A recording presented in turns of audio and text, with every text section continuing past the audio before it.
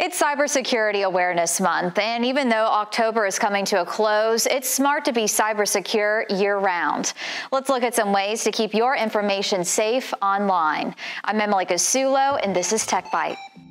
Tech Byte, sponsored by Epico's Comics, Cards, and Games.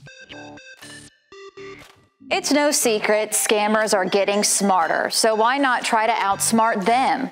Even people of all ages are being targeted nowadays, not just the elderly. According to Vox, Gen Z is three times more likely to fall for online scams than their grandparents. Social Catfish even reported that scammers made $210 million last year off people younger than 20. That's up from 8 million in 2017. So how do we keep these scammers at bay? Google cybersecurity experts have teamed up with America's Cyber Defense Agency, CISA, to share some safety tips for all your devices and apps. First, keep your software up to date to keep from getting a virus. They also recommend that you keep an eye out for unknown senders who request personal information and use urgent language. It's likely a scam. This third tip really comes in handy for all the different passwords we have to make for various websites and apps.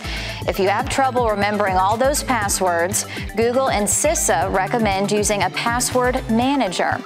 It creates and remembers strong passwords for you, making sign ins simple and secure. One way you can keep those passwords secure is by using multi factor authentication. Your accounts will be safer using it if someone does happen to steal your password. Multi factor authentication requires an extra step to access your account. A little more time logging in could save you from a big headache later on. For more cybersecurity tips, just go to safety.google and CISA.gov. I'm Emily Casulo, and that's this week's Tech Byte. Tech Byte, sponsored by Epico's Comics, Cards, and Games.